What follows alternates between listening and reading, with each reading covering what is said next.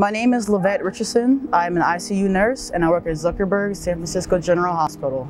So we see the sickest of the sickest patients. We're working with a, a disease that we had no idea on how to treat. So everything is new, everything is complex. We don't know the implications and long-term of the disease. I know that a lot of people say, oh, you know, if I get COVID, then it's okay because it's only similar to a small cold, but we don't know.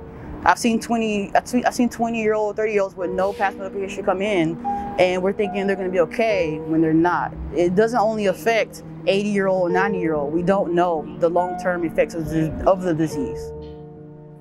Working in the ICU has been a very emotional roller coaster. It's just tiresome. We've been at this for over a year. Uh, hopefully, we can see a light in the tunnel, but it's very tiresome. I want to say that I'm proud to be on the front line to you know, put myself out there and protect not only my coworkers, myself, and my family. It's been an honor, but at the same time, um, I just want to encourage everyone to take the proper precautions to give us a break as well. We need time to heal and grieve as well. After I get the, the COVID vaccine, we're not going to stop the disease just on day one.